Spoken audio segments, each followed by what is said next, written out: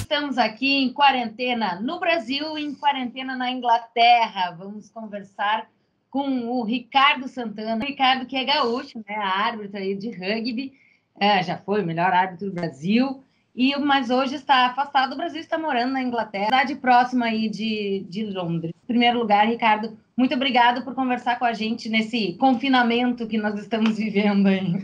Prazer é todo meu receber vocês, um prazer mais uma vez falar mesmo à distância agora, né? Conta pra gente como é que começou a, a situação na Inglaterra e na tua cidade, enfim, na tua convivência, o coronavírus. Foi meio meio um pouco rápido, assim. Uh, eu estava tava indo para a Alemanha, na verdade, uh, para uma conferência que ia começar no dia 15 de março, né? E quando eu cheguei, literalmente, eu posei na Alemanha, eu recebi um e-mail dizendo que foi cancelado. Uh, já estava começando a cancelar as coisas por lá e no, no Reino Unido até então estava tudo, tudo normal. Consegui voltar, uh, literalmente um dia antes de começar algumas restrições. Eu voltei no dia 15 e no dia 16, na segunda-feira, começou as pequenas uh, restrições. O primeiro-ministro pediu para evitar sair, para evitar aquele tipo de coisa.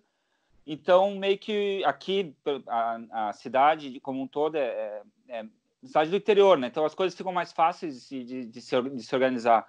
Então, as pessoas foram se preparando aos poucos para o confinamento. Não estava ainda, digamos, uh, oficialmente decretado pelo governo, mas as pessoas sabiam que de uma hora, uma hora ou outra isso ia acontecer. Então foi meio que gradual. E até chegar na sexta-feira, uh, na última sexta-feira agora, o, o, o anúncio do, do primeiro-ministro dizendo para todo mundo só sair em casos uh, de, de, necessidade, né? Então foi mais ou menos essa semana passada, de, da segunda-feira para sexta-feira, que as coisas começaram a, a mudar um pouquinho. E aí tá tudo parado, comércio, tá só os serviços essenciais, como é que tá? Na verdade, tá só os, os supermercados, né? Depois do decreto de sexta-feira, uh, só os, os, supermercados podem uh, continuar abertos. Uh, mas tá, o pessoal está indo trabalhar. A, a, a, recomendação é só sai de casa, só trabalhe, sai para trabalhar se realmente não pode trabalhar de casa.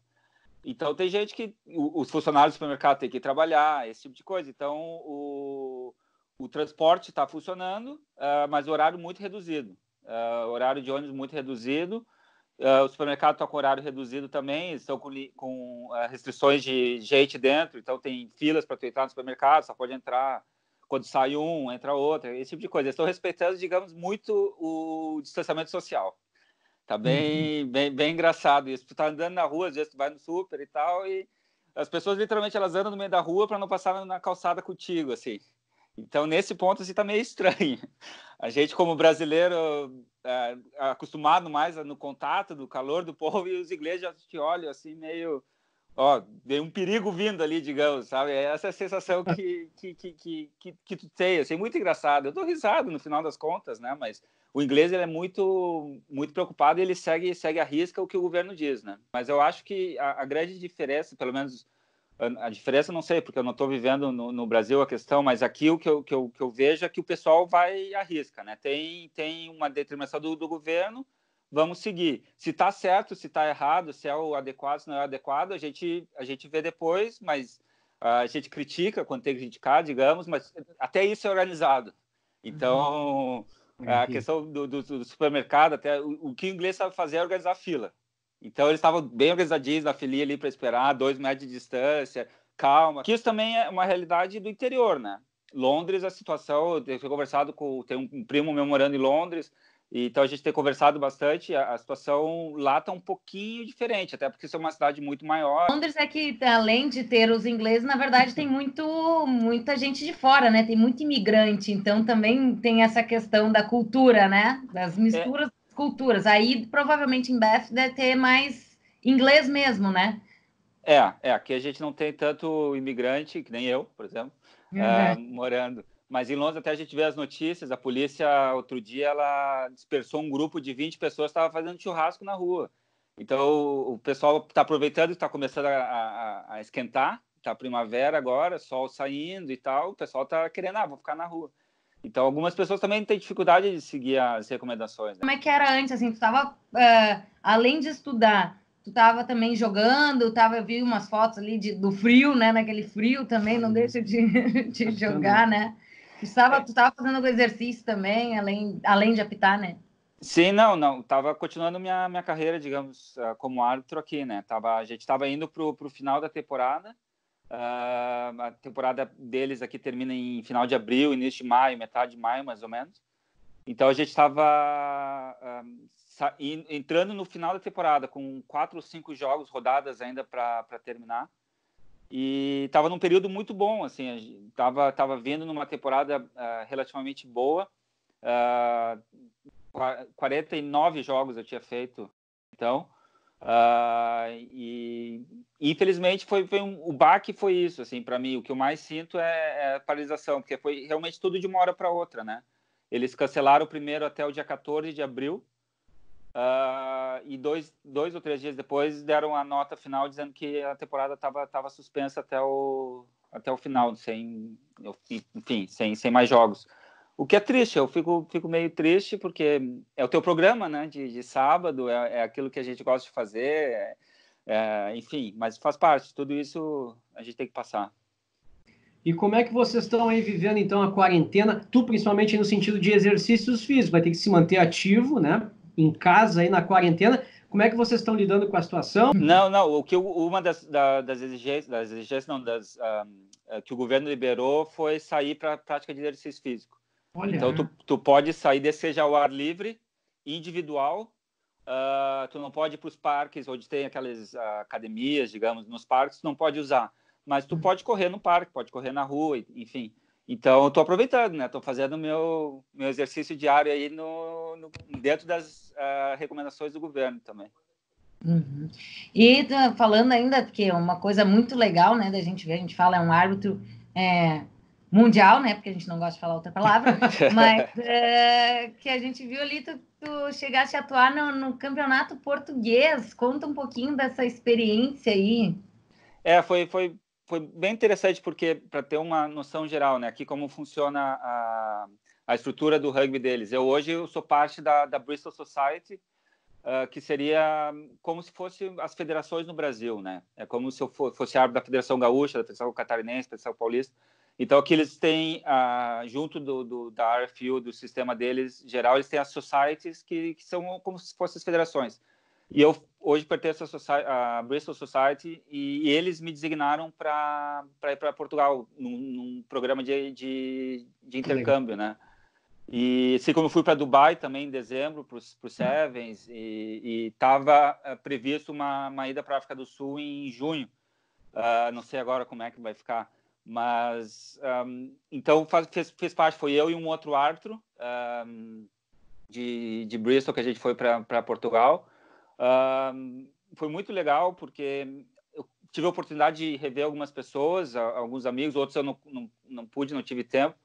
Uh, e, o, e, o, jogo em si foi, uh, naquele período, naquele momento, era, era o principal jogo do Campeonato Português. Era o primeiro colocado contra o segundo colocado da tabela.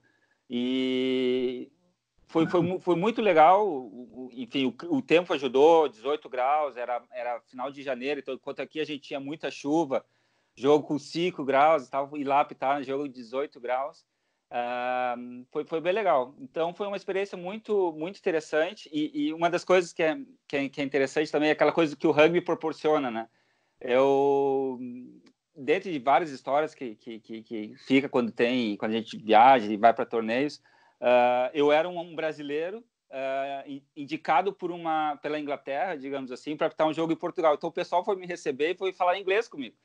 E aí eu respondi em português e eles me olharam, tá, mas tu não é da Inglaterra? Eu disse, não, eu moro lá, mas eu sou brasileiro e tal. E aí eu cheguei no, no na, foram me buscar no hotel, aquela coisa toda, cheguei no, no, no, no campo, assim, fazer a preparação, eu vejo um dos times chegando, né, o time, o time visitante estava chegando, uh, e aí eu conversando, assim, e aí o, o, o cara que estava comigo, que foi o responsável por me, chegar, me levar e tal, ele, ah, o João Uva é o treinador do, uh, da, do, do, técnico, né, que é o que era o time. O João Uva ele jogou no Brasil uh, depois, uh, ele ajudou o Brasil lá no início, em 2010, 2011, acho se não me engano no Bandeirante. E teve a primeira semifinal do, do, do brasileiro que eu optei em 2011, ele jogou. E foi muito engraçado, oito anos, nove anos depois, rever ele em Portugal. Ele veio, ah, que mundo pequeno, né? Eu disse, é, pois é, que mundo pequeno, né? Então, é, é, é, essas histórias são muito legais, assim, né? A, a, parte do jogo, enfim, são, são todo o, o, o que envolve, né? O ambiente e o rugby de uma maneira geral. Isso é muito legal. E como é que está sendo para ti, Ricardo, que foi para aí, tá, tá, realizando um sonho, né, em, em, arbitrar jogos internacionais? Que evolução que tu percebeu na, na, na, tua questão profissional como árbitro aí, apitando outros jogos que não só aqui do Brasil? Uh, aqui, digamos que a cultura deles é muito diferente com o rugby, né? Eles vivem o rugby de uma maneira diferente e é totalmente uh, entendível isso, porque os, o rugby nasceu aqui, né? Então tem é, a cultura deles do amadorismo, digamos assim, é muito forte. Então eles têm, por exemplo, 14 divisões né, na Inglaterra toda. Então essa experiência de tu apitar uma 11 primeira divisão na Inglaterra, por mais que o jogo em si não seja não seja bom, digamos, tecnicamente falando, a habilidade dos jogadores, digamos, não, se, não seja muito boa, mas tu tem veteranos jogando que jogam desde os 10, 15 anos na escola e estão continuando jogando, tu entendeu? Então, esse tipo de experiência, tu saber lidar com esse tipo de, de, de situação e saber lidar com, com um jogador que joga na regra antiga ainda, sabe? Então, é, é, essa diversão, tomar uma cerveja depois no terceiro tempo, isso tudo é legal. Uh, claro que, que, que, que uh, a gente uh, ambiciona seguir adiante. Então, quando o rugby começa a ficar sério, aí tu vê que eles são muito técnicos.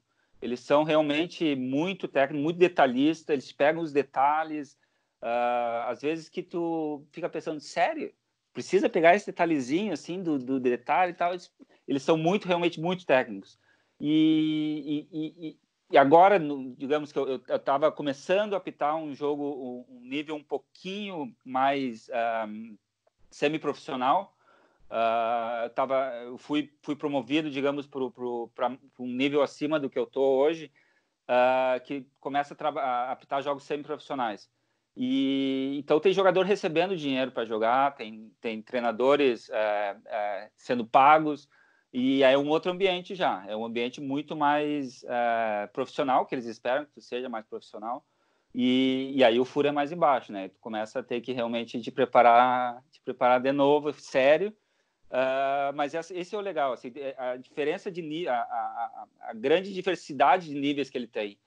Tu, se, tu, se, tu, quiser apitar por apitar, quero só apitar um final de semana, tu vai lá. Se quiser seguir mais para cima, te esforça, que oportunidades tem. Eu, nós, né, desejamos a ti aí, Ricardo, que tu consiga alcançar o que tu desejar aí, tá entendendo? É, se, obrigado. por aí ir arbitrando níveis mais altos ou ficar onde tu desejar é o que a gente deseja, com perdão da redundância, para ti aí, cara.